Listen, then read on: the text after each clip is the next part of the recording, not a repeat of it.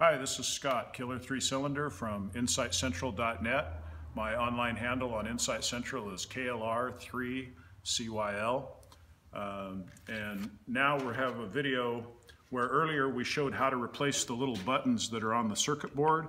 And now we're actually going to show how to uh, install the little buttons in the back of the circuit board on or the circuit board in the cluster itself. So we have a cluster out of the car and uh, we're going to flip the cluster over and there's a plastic back on this and there's uh, let's see what do we have? About eight tabs that we have to lift up a little bit around the edges here and there's one in the center that you have to lift as well.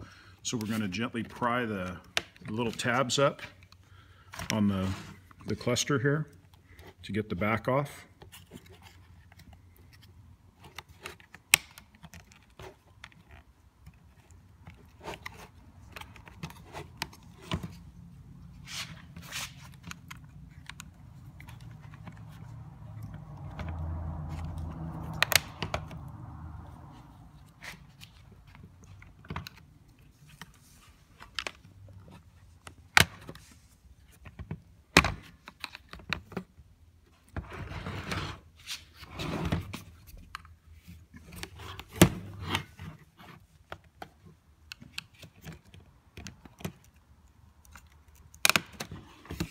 Okay, so we have the the back almost off here.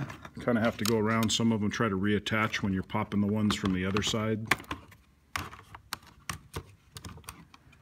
So we have the back off here. And the little circuit board that we want to replace is right here in the corner. This is for the trip buttons on this particular car because it's not working. And if your trip buttons don't reset properly, uh, your service maintenance light will come on and, and can actually eventually burn out the service maintenance light bulb. Um, and then you can go ahead and do what we're doing. When you do this, there's one Phillips screw in the corner, and on the other corner, there's a little tab down here on the white plastic. When they uh, put these in, that snaps in, and then they put the screw in. These, the plastic on these becomes very, very brittle and when you go to take this out, there's a great possibility that you'll actually break the little white plastic tab here. And that's not the end of the world because the screw actually holds it in if that does happen. So we need to unplug the little circuit board here from the back of this other big circuit board for the main deal here. We're going to pop that out of there. And then I'm going to take a number one Phillips screwdriver and get down in there and take out the Phillips screw.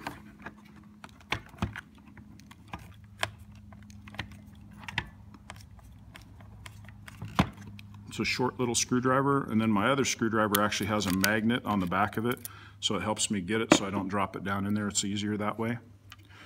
And then, once we're down in there, there's these two little plastic tabs, and you kind of have to be careful. Hopefully you can get it out and not break the tabs, but they're the type of plastic that they use. It's really difficult. We got it, and we broke broke one a little bit there. Yep, we broke it and but the other one's still there.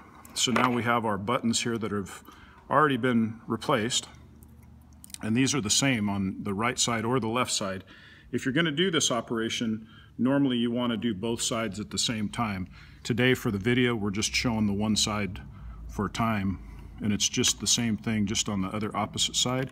So then you drop it down in, and on the, the front corner of the circuit board, you want to make sure it's in the little slot up in the hole in the corner there.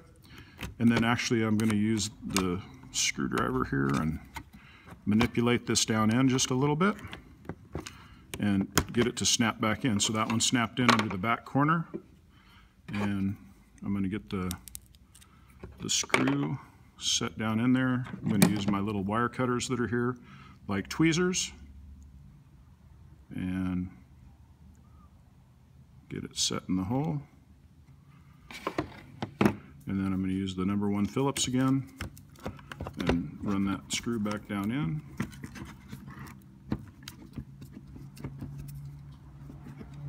Actually, the Phillips doesn't like it, so the little straight blade is just about the right size as well. So we're going to use that. Get the screw down in just snug so that it holds it in there. And then we're going to plug in the little button board again back here.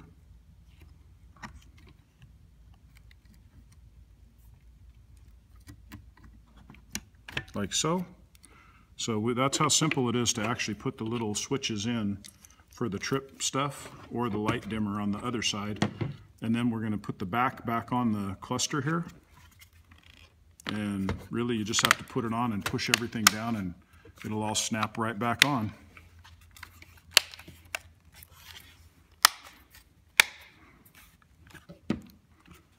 So this cluster is ready to go back in the car and it's got new trip buttons in it. Thank you for watching my video. Please check out my other videos uh, on how to repair Honda Gen 1s uh, on YouTube.